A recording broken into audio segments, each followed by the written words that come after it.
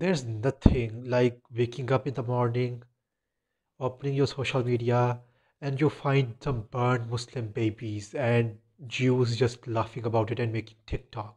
Nothing starts the day like that, you know? You should try it sometimes. These past few months have been very, very enlightening for the public. For me, yeah, it has been very enlightening. Elon Musk has proven not just to be a hypocrite but a coward as well.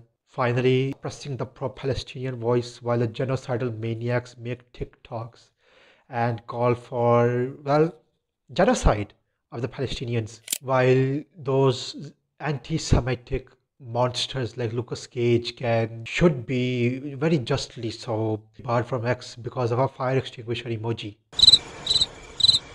Go yourself, Elon. And the less we talk about other media platforms, the better, especially not Facebook.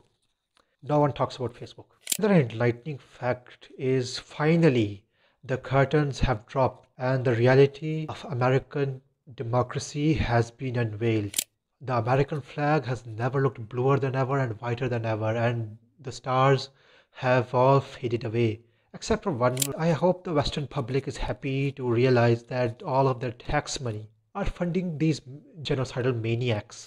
One thing that was very, very enlightening for me was there's no such thing as freedom of speech.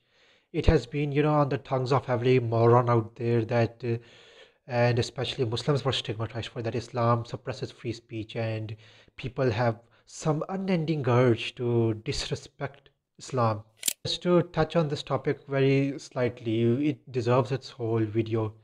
For that, you'll have to subscribe, you know and like to you know spread this video freedom of speech doesn't exist. You hold on to an ideology you adopt a dogma even this freedom of speech nonsense. You're going to protect it from you know concepts that impede freedom of speech. You're not allowed to speak everything. You develop new language you know like hate speech. Or what pro-palestinians are doing right now is hate speech against uh, zionists. Anti-zionism is equivalent to anti-semitism you see what I mean? There's no free speech. You're not allowed to talk things that are disagreeable to the system, to the general public. You're not allowed.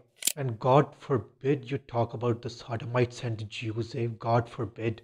Right now, those who are advocating for Israel and Zionists are on the side of the Nazis and are on the side of the colonial America, the British Empire, all those who caused mass starvation, genocides, and displacements caused millions of deaths and mass rapes and you're letting this happen to the palestinians as well now right in front of your eyes.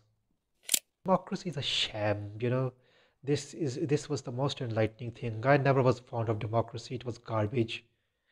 I always knew it was a hoax and it has been proven to be as such.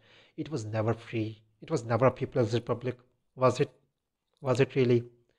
You can protest all day you like they're going to massacre my brothers they're not going to listen to you, man. They're not going to listen to you, to me, to you. People were never rulers. This was discussed by Plato as well. Democracy would have always led to despotism, to this technocratic totalitarian system where the oligarchs and the bureaucrats rule over peasants like you and me. Comment your grievances about this.